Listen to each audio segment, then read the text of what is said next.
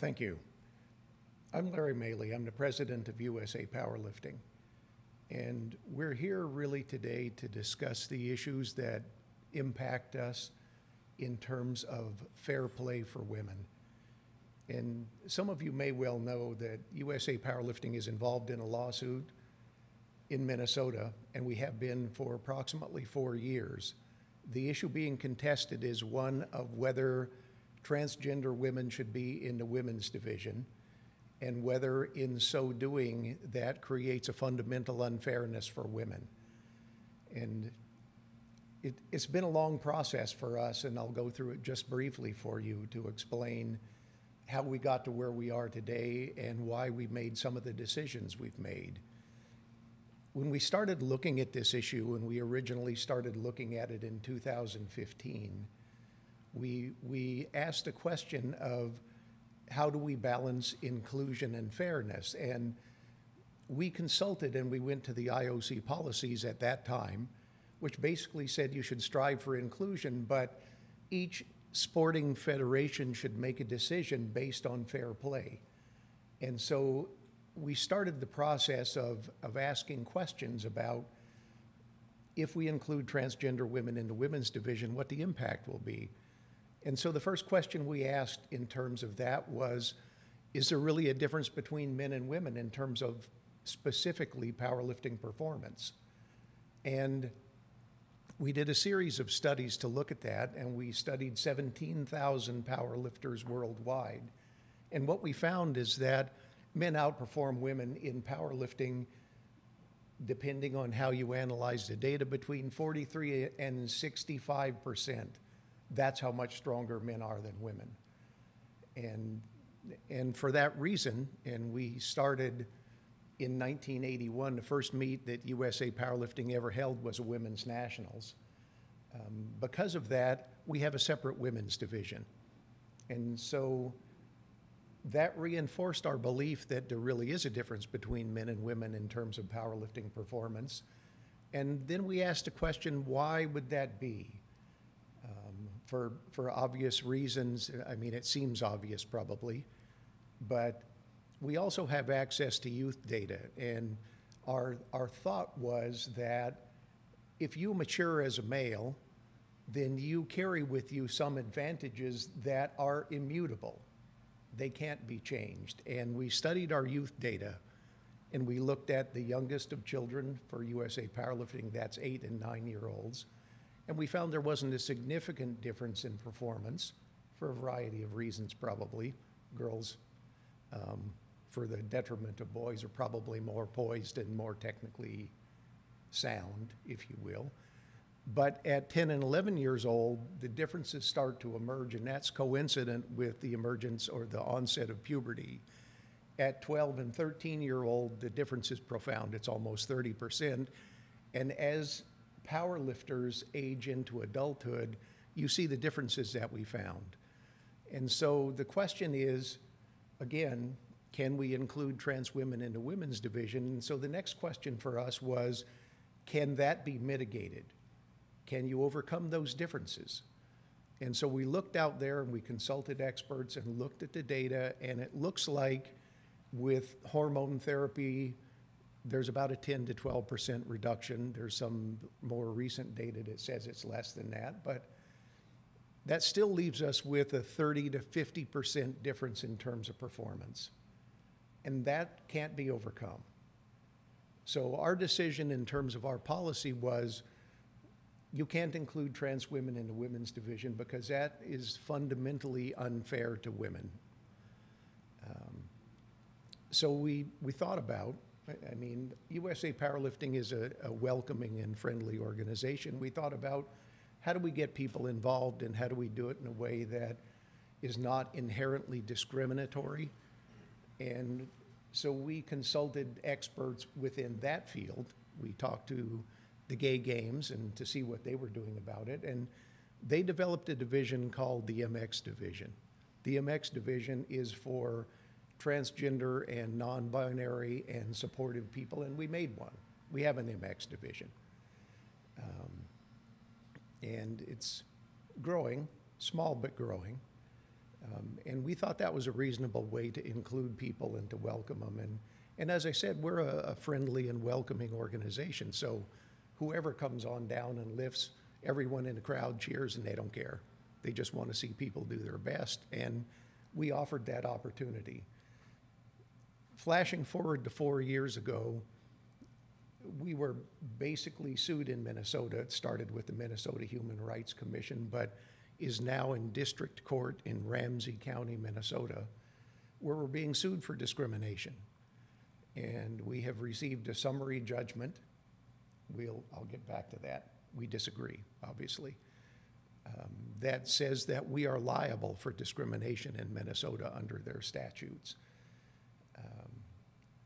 It's been a significant hardship for us, but it's been very difficult as well over time. Um, In terms of the sentiments of our own constituency. And over the course of this process, um, we've had the occasion to talk to numerous people, both male and female, to, to gauge their sentiment. And what we found is that people universally, or virtually universally, support our policy, but people are also reluctant to talk about it. And some of us who have been at the forefront of this issue um, eh, have suffered for that. And the same goes for, particularly for women who would speak out on the issue. Um, they receive threats and are characterized as bigoted, and um, the threats are, are across the waterfront, really. Um, they have to do with threats to vocation, they have to do with threats of association, they involve media attacks, and some of us have received physical and uh, other threats directly. So um, to, to speak out on this issue for us and for a number of our constituents, our members, has been very difficult. What we know privately is that many people support us and believe that the path we've taken has been the right one to, to ensure opportunities and fairness. Um, moving ahead to where we are today, um, we have been ordered out of business in Minnesota. Judge Patrick Diamond of Ramsey County issued an order on April the 11th that said, you may not do business in Minnesota. You may not sell memberships. You may not hold competition in Minnesota. And that directly affects about 650 to 700 people. Um, and, and so they have no opportunities to compete. Interestingly enough, this lawsuit is about the inclusion of trans women in the women's division. The impact, however, is widespread. It involves men, they can't compete. It involves youth, they can't compete. And in order to do so, those who still have a membership have to travel out of state to compete somewhere else, creating basically a hardship for them. Um, We've appealed this decision, and as of Thursday, we filed our appeal with the Minnesota Court of Appeals, and we believe that Judge Patrick Diamond got it wrong. We believe that he misinterpreted, his in- legal interpretation of the Minnesota statutes are wrong, and let me be a little more specific. In the Minnesota statutes, discrimination is banned with an exception in sports unless it alters the fundamental character of that sport. And from our standpoint, allowing women to be beaten by 30 to 50 percent fundamentally changes the character of sport for women. But we believe as well that Judge Diamond has gotten it wrong on a number of legal points, though there's things we'll contest in the Court of Appeals. One of the things that that comes up in this argument very frequently is the issue of the science. And part and parcel of our decision in Minnesota is that basically the science doesn't matter. Um, that the issues of mental health, the issues of prior unfortunate circumstances are more important than fairness in sport. We heartily disagree with that. So, as I said, we are appealing. Over the course of time, we've had a number of conversations with women, and what we found, and what you'll see today from the, the lady standing here, is that there's a great deal of anger on their part, and the anger is at the loss of opportunities. The anger is at the loss of history, and that history goes back to the development of women's sports. And as a, as a former coach of the women's national team, it's been a long time coming for equality in terms of women's sports. And so they're angry about the loss of that hard work and that history to get to where we are today. But more than that, they have a sense of personal loss. The lo- sense of personal loss has to do with the fact that they, like all athletes, work for years on end to perfect their craft, to maximize their performance, to peak at the right time. And the fact that they believe that in many circumstances, they will go to a competition, do their best, and lose anyway is, is heartbreaking for them. And so that's what we found. Um, we found that there's a great deal of anger at the loss of personal space um, and personal safety in terms of perception. In, in short, they feel victimized. And as I said, many of them have been threatened both in terms of social media, but personally. Mischaracterized in terms of personality and fairness and bigotry, which isn't true.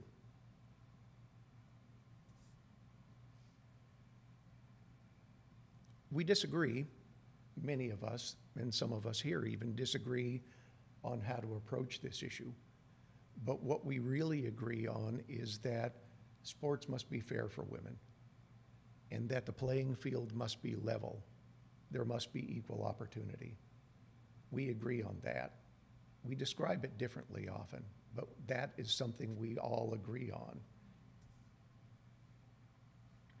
And we believe that if these decisions are allowed to stand, they are inherently discriminatory to women who were born and who matured as women. The last issue I want to touch on is the issue of inclusion.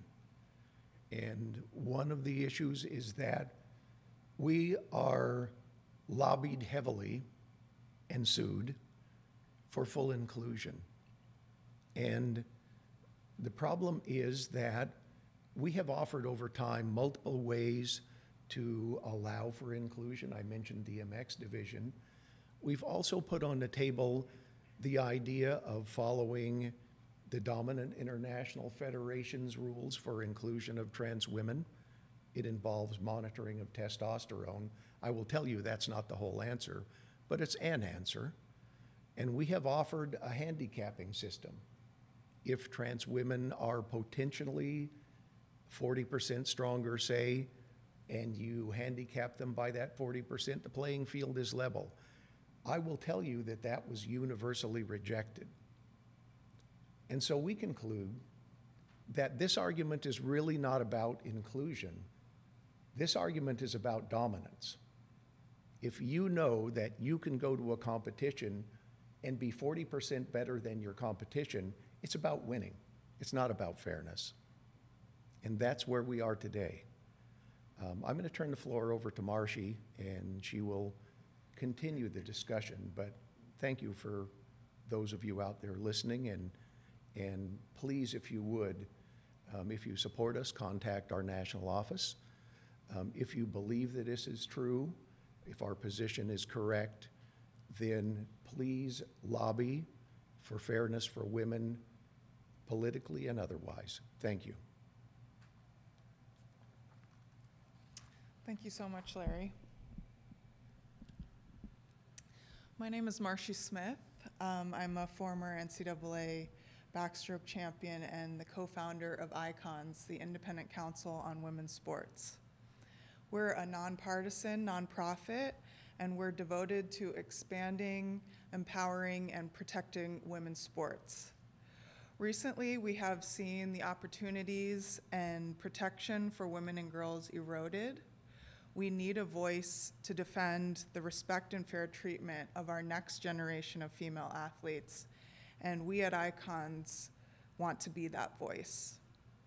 We commend USA Powerlifting for their dedication to firmly deven- defending the rights of women and girls in their organization to ensure equal opportunities and fair treatment in their sport. This case goes beyond this single sport, however. It goes even beyond women's sports. It sends ripples beyond the borders of Minnesota as well. We're here in Dallas, Texas today, um, prior to a competition they have this week. For the first time, a judge has not only taken access to a sport away from little girls and women, but has decimated powerlifting for boys and men um, across the entire state of Minnesota. This radical erasure of an entire sport is a grave warning to other sports organizations that unless they are willing to knowingly discriminate against women and girls at every age and every level,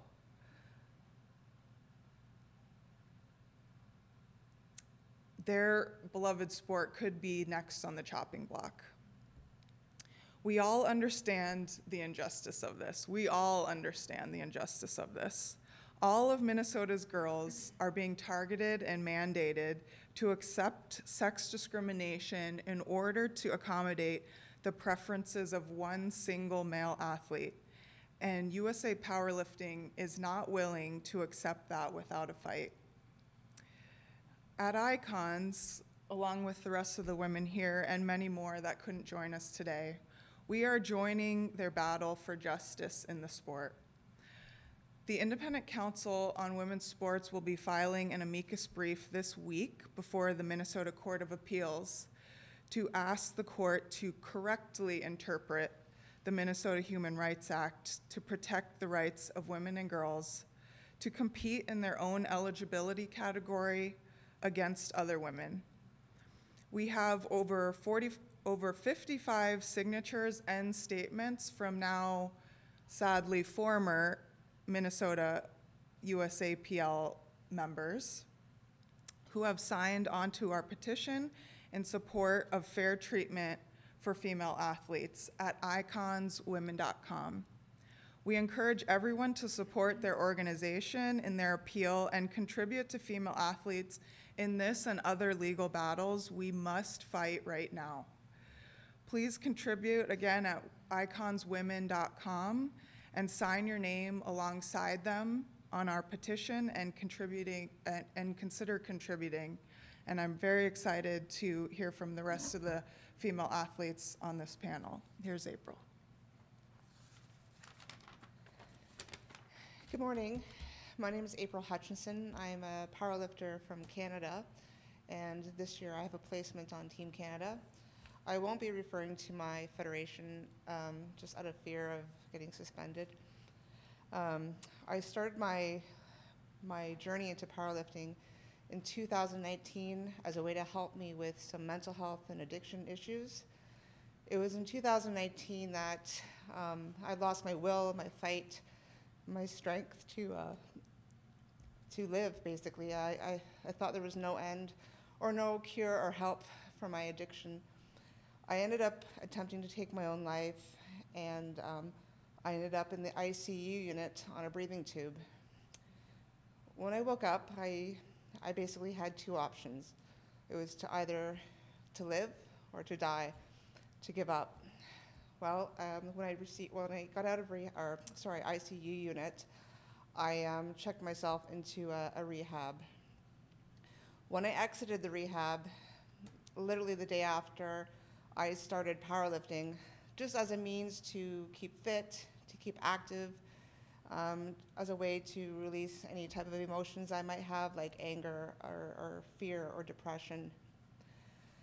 In 2019, as you all know, was only probably a couple months before COVID had hit the world and flattened it.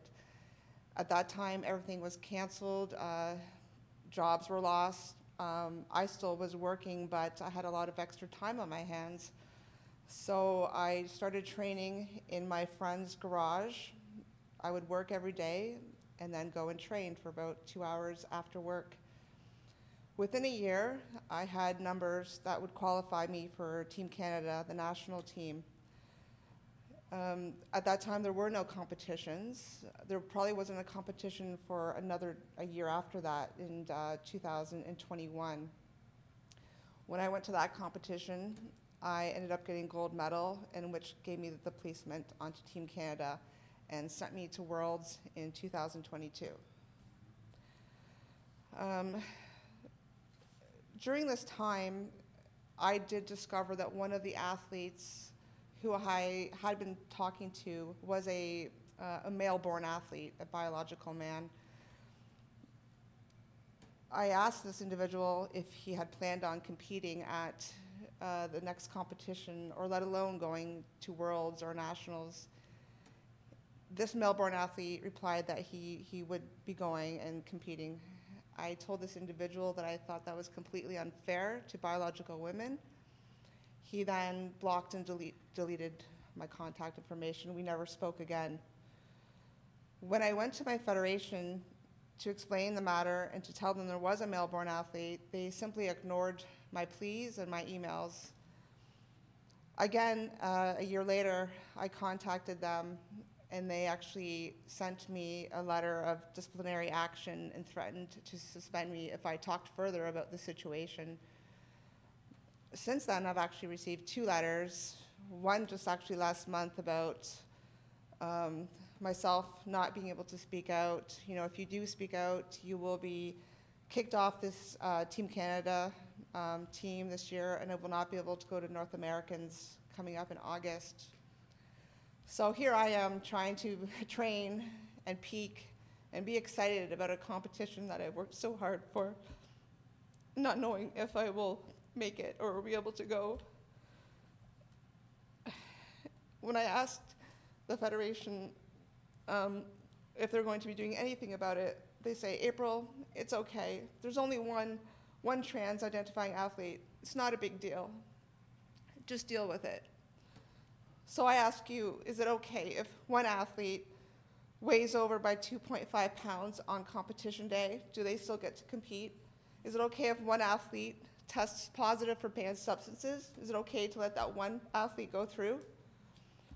One is too many. One violation is too many. I'm here today to support USA Powerlifting because as you can see, it is affecting men and women. If my federation doesn't at least talk about the situation or talk to our, um, the international governing body about changing the policy, I do fear that our sport in Canada will be suspended and there will be no more sports for both men and women. As you can tell by my personal story, I need powerlifting as a way to help me with my emotions, just to help me with my day-to-day struggles in life. So of course I have so much fear and sadness thinking that that could be ripped away from me. But in a sense, having this male-born athlete compete, it's already being um, taken away from me. So I just, I, I, ask anyone out there, if you do support um, fairness in women's sports, please um, donate. I do have a website. It's called I Stand with April. You can donate there. But please keep speaking up. Um, don't be afraid. Men and women, please use your voice because the discrimination against women needs to stop today, now. Thank you.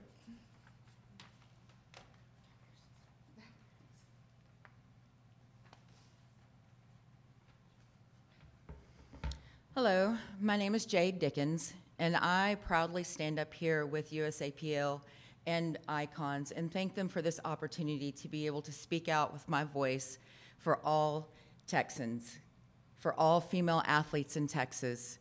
I am a proud mother of two daughters and also have been a long term member of USA Powerlifting for over 20 years. USA Powerlifting has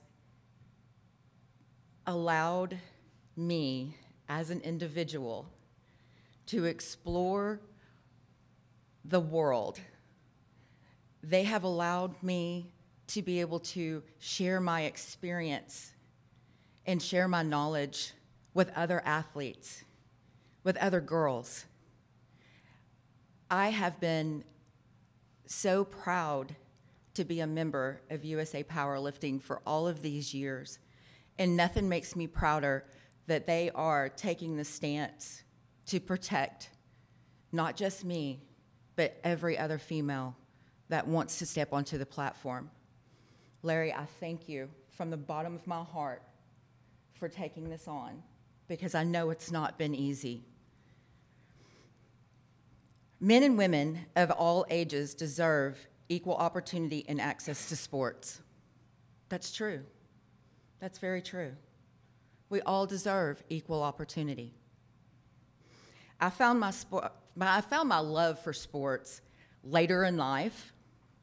Um, my first, I, I gave birth to my first child at 16. And so you can tell that that might have slowed me down just a little bit. However, I began working in the Texas prison system at 19 years old. There, we hold several fundraisers throughout the year to support other organizations. We were able to do a Special Olympics fundraiser, and we did a bench press competition for throughout the state.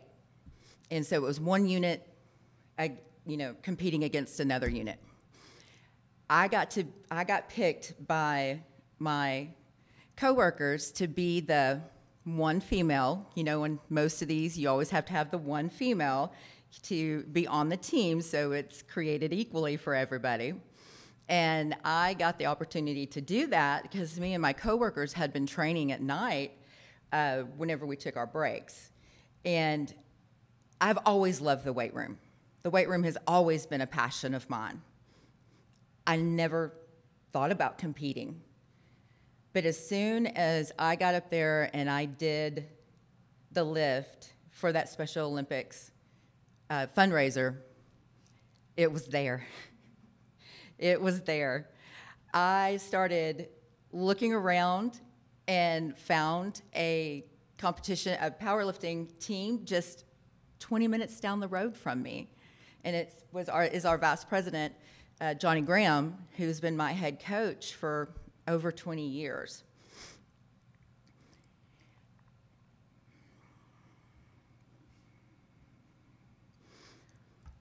With the ability to, in this knowledge, I then took it to our public school system. And there I coached and taught for eight years and was able to bring the love, my love of powerlifting to other female athletes and was able to experience the joy of other girls, of, of, my, of my girls finding their strength, knowing that they could be strong, knowing that even though they may not be as strong as the boys, because they wasn't, but they found their strength within themselves. That was one of the most glorious feelings of my coaching career. We were able to win state. Then my girls went on and won nationals. I was able to expose these girls to not only lifelong lessons, but I exposed them to the simple things I was fortunate to take one girl to the first time she'd ever went to the beach. And then she becomes a naval officer. Another girl of my female athletes took her on her first plane ride because we had to, USAPL, thank you, allowed us to come as a team and compete across the country. She now owns her own salon. And I have so many more examples of what my children and my athletes did and how successful they were. I myself have got to be able to travel the world. I've been on multiple world teams. I've been on multiple national teams. I know what it feels like to stand on that podium and have the national anthem playing when I'm standing in Mongolia. It's amazing. And I never will quit. This is something that I will do forever. People kind of joke with me and tell me, You're probably going to die in the gym, aren't you? I said, Yeah. I said, If I could have it my way, that's, that's pretty much where I'd like to be whenever that time comes, because that's how much I love it. And I still to this day promote female athletes and trained female athletes to become bigger, faster, and stronger.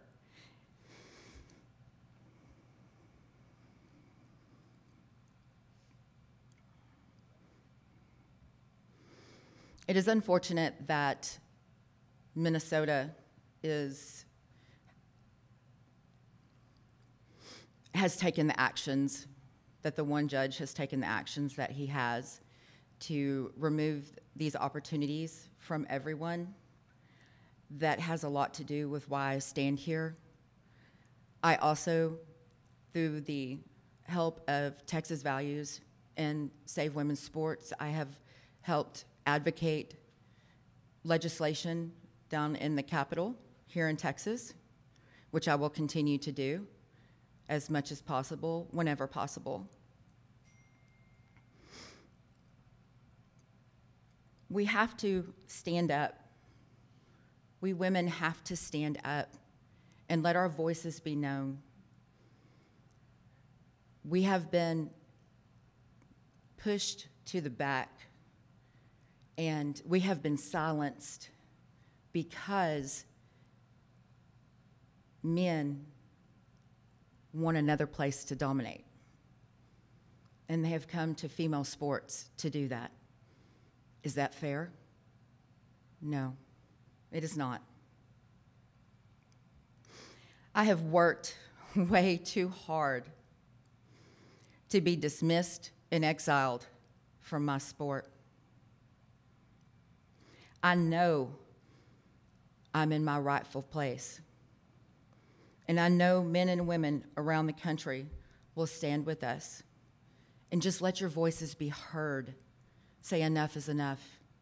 Keep doing it. People are listening. Thank you. Thank you, Icons, for allowing me this opportunity. Thank you, Larry, for preserving my sport. I can't thank you enough for that.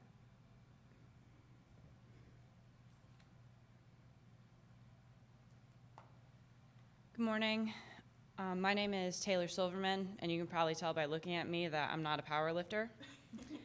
but I'm, I'm happy to join USA Powerlifting and Icons here today to share my experience as a skateboarder, because in skateboarding there are many males competing in women's divisions.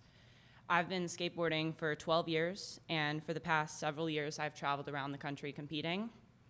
And on three separate occasions, I've competed with males and women's divisions once in California in 2018, once in Illinois in 2020, and a third time in Nebraska in 2021.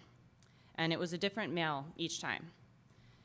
In both Illinois and Nebraska, I was bumped out of first place into second place. And in the third contest, not only did I lose out on first place and the recognition that I had earned and deserved, I also had my paycheck cut by Red Bull while the male received $5,000 of prize money intended for female athletes. I remained silent during the first two contests. I knew that these athletes had an unfair biological advantage over the women, but I genuinely thought that this would be quickly resolved due to the absolute absurdity of it. I was also nervous to speak up publicly due to the bullying and even violent threats that I had seen faced by anyone who dared to question so called trans rights activists advocating for male inclusion in female sports. But after the third contest and watching this only get worse, impacting more women in skateboarding and hearing of stories of this impacting just about every other sport, I started to feel really guilty for not standing up for myself and the other women who were facing this issue. I couldn't stay silent anymore because I knew this was bigger than me, bigger than skateboarding, and women in all different sports competing on all levels were facing the negative impacts, and many people felt like they couldn't use their voice. Women were losing records, scholarships, respect, and in some sports, even safety and privacy in places like locker rooms. As someone who'd lost out on first place and lost money to males in my sport, I knew my story mattered and needed to be heard. I couldn't go on letting people think that my silence meant I was okay with it. And I also knew from many private discussions with other female athletes, parents, and coaches that a lot of people agreed with how I felt. So I reached out to the contest organizers at Red Bull and raised my concerns about fairness, about women losing out on opportunities with prize money, and they completely ignored me. I felt forced into silence, and my mental health was suffering because of it. Going through this was so confusing, upsetting, it was mentally tormenting. And the male athletes demanding to be included in our divisions argued that I must accept it because not doing so would hurt their feelings. But my feelings were never considered. The female athletes' feelings and mental health did not matter to them. So I ask you, what about the women? Why does a group of people who claim mental health is so important to them completely disregard the negative impact that female athletes face? Why are the detrimental effects to our mental health ignored? Female athletes are being made to feel completely worthless in a space that was supposedly created for us. And when we speak up about it, we're told to shut up and deal with it, and wrongfully accused of being hateful and discriminatory. I know many girls and women who have chosen to no longer even participate in their sport because it's just not worth it anymore. The thing that they love to do most is not worth the abuse, the attempted brainwashing, and males making a complete mockery of their hard work and dedication. I don't want other female athletes to continue to go through this. I know how it feels, and I felt a moral obligation to speak out, not only for me, but for other female athletes in skateboarding and other sports, and the next generation of girls who may never know what it's like to have equal opportunity and fairness in sports. So, over a year ago, I shared my story on social media, and it immediately went viral. I received hundreds of thousands of, sup- of supportive messages and comments from others who felt exactly the same. And all of us who want to restore fair competition for female athletes are not anti trans, we're pro woman. I actually think the males who feel entitled to participating in women's sports divisions need help with their mental health too. But being allowed to unfairly compete in athletics with women at the expense of women is not the, health they, the help that they need it's not female athletes' responsibility to deal with transgender identifying males' mental health issues, and it only hurts our mental health when people try to put that on us. Thank you.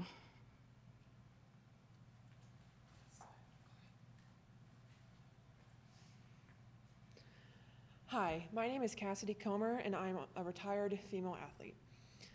Um, I am honored to stand with USA Powerlifting and Icons in order to support this cause. I was recruited to play basketball at Midwestern State University in Wichita Falls, Texas.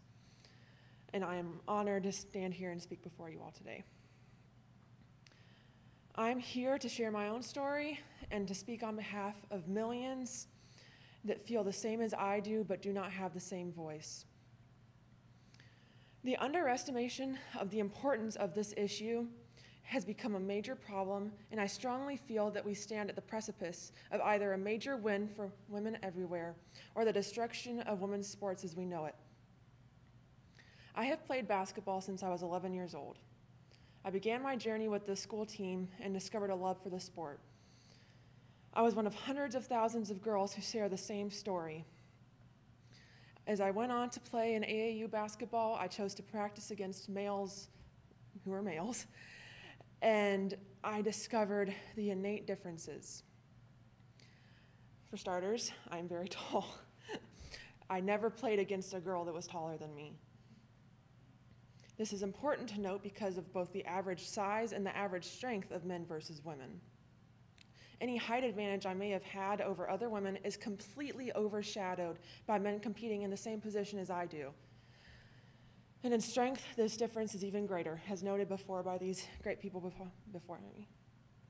Men have numerous biological markers that cannot change even after undergoing re- hormone replacement therapy and ensure that in sports like powerlifting, they can dominate. On multiple occasions, I have chosen to play against men in training. In practices and scrimmages, I saw that even junior high boys were taking on high school level girls easily and winning. In practices, I quickly realized that the strength and speed differences between the two sexes were immense.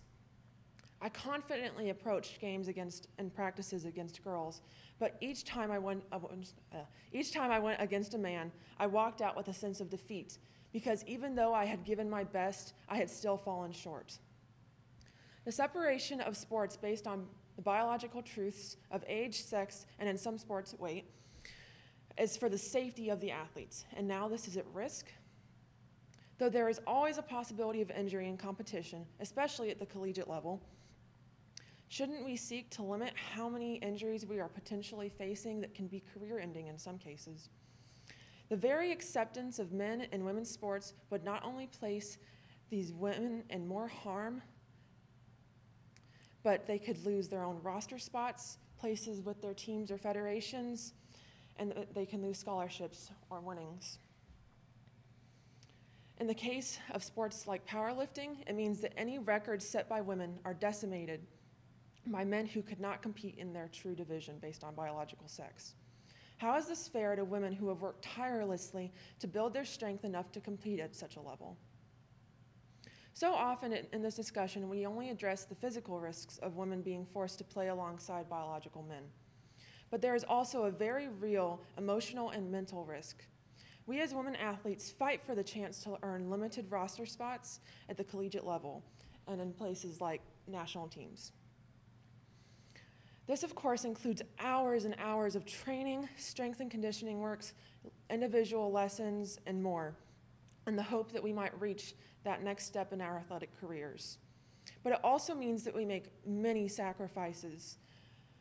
We don't have free time. We work, we go to school if we're in school, and we train, and we sleep, and we eat, and that's it.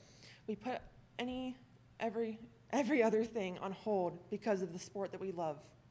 We push ourselves to what we can, to the limit of what we can do physically. But when we have to face someone who we cannot expect to, con- to succeed against, who has the advantage of male puberty, male bone density, male heart and lung size, male fast twitch muscle fibers, and every other anatomical difference that defines the differences between the sex, it is not fair. For as long as men and women's sports have existed, they have been divided by biological markers of age, weight, and of course, sex. These markers exist to keep the athletes as safe as, as safe as possible. And now these are all at risk. So please, please stand, use your voice. I know there are so many women out here who feel the same. So please use your voice. Thank you.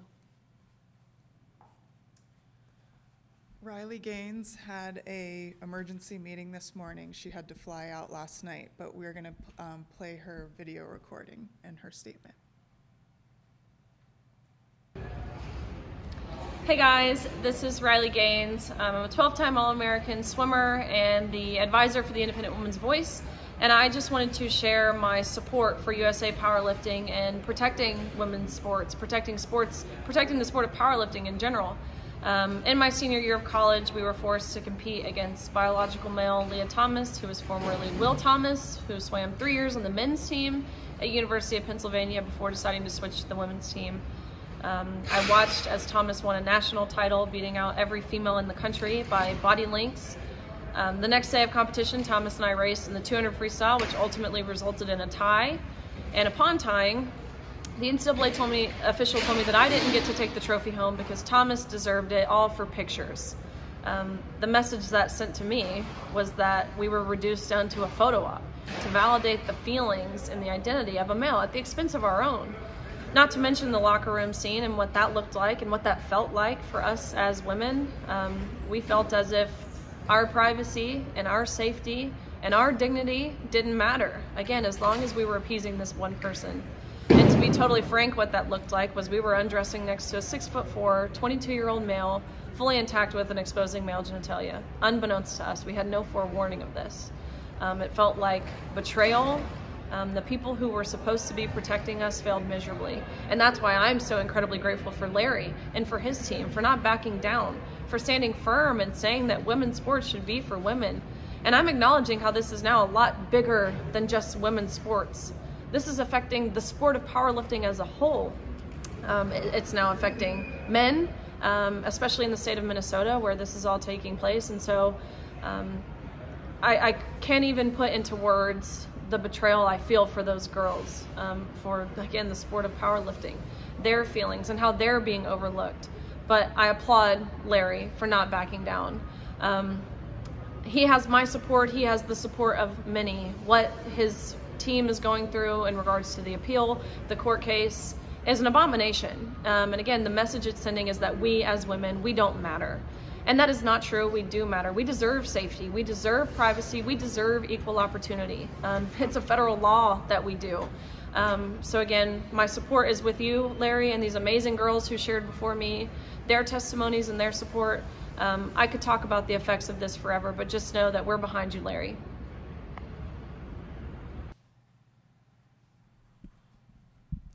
Just a few brief closing remarks, I guess. I, I'm grateful for the support of all of the women here who have taken the risk to come out to tell their stories, um, some difficult and some painful, and for the support of USA Powerlifting. Um, we were the first NGB to actually address this issue.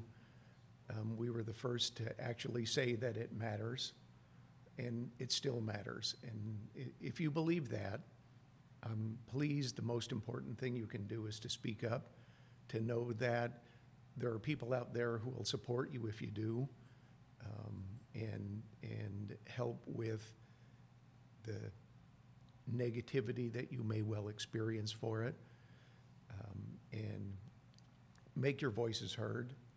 Um, know that you're not alone, and and be politically active. Um, continue to enjoy your sport, and know that we want the best for you.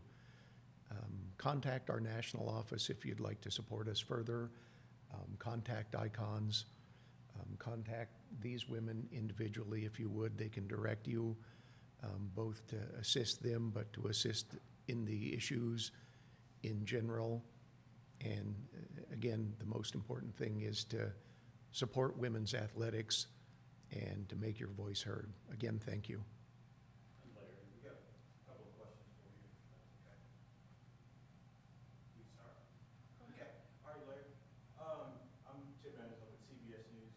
Yes. Um, can you explain to the people why fight this battle in Minnesota, just instead of saying, we don't have to be in Minnesota? Well, I- guess your question is why are we fighting in Minnesota? I guess the easy answer is we don't really have any choice um, because we're being sued there. But, um, but the bigger answer really is that it, it could be Minnesota or it could be anywhere. Um, but, but this is where the battle lies today. And the, the issues remain as important, um, both uh, as a national precedent setter, um, but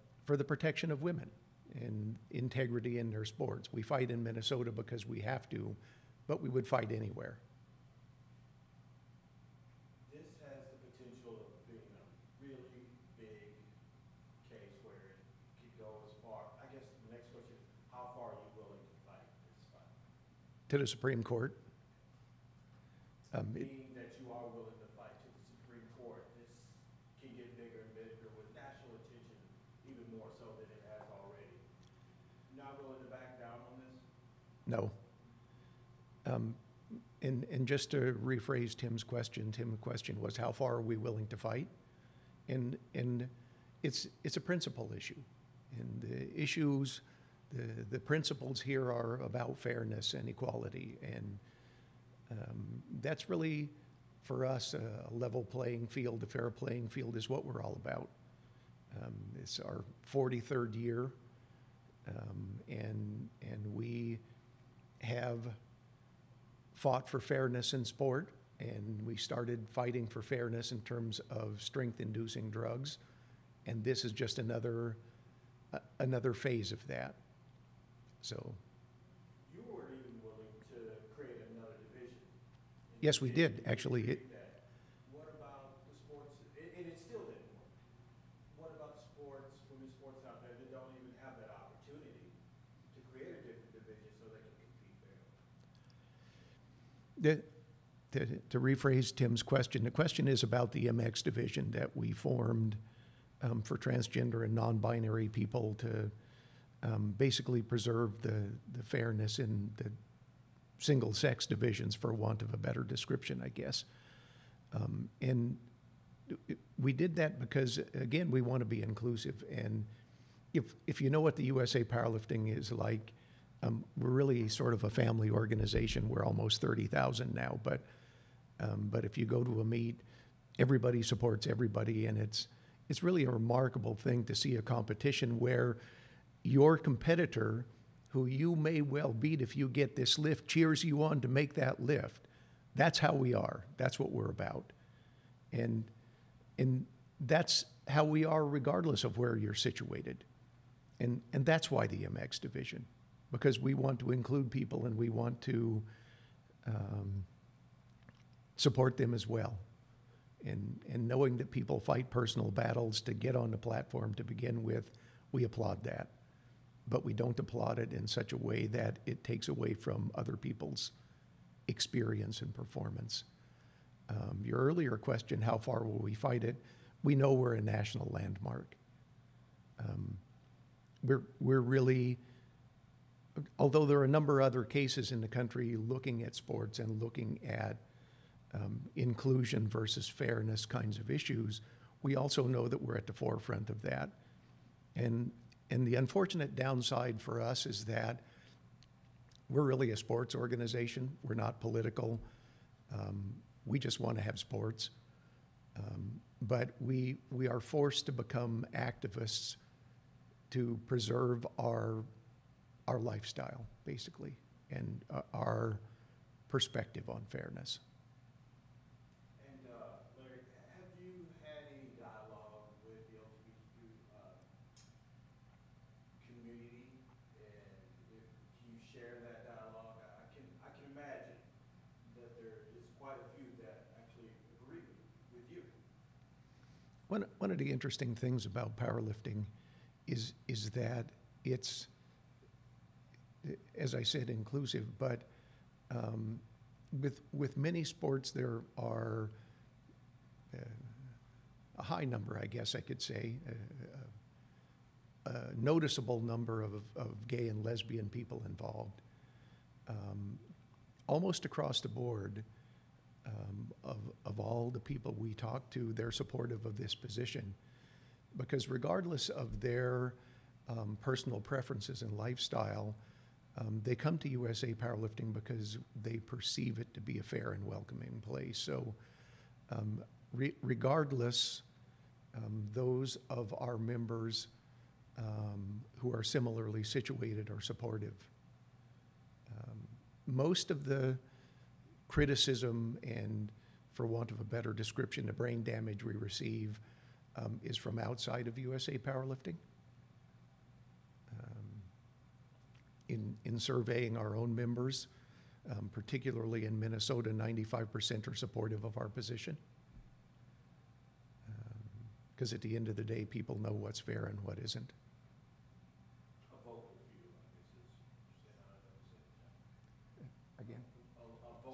few, I guess is, saying I don't know, I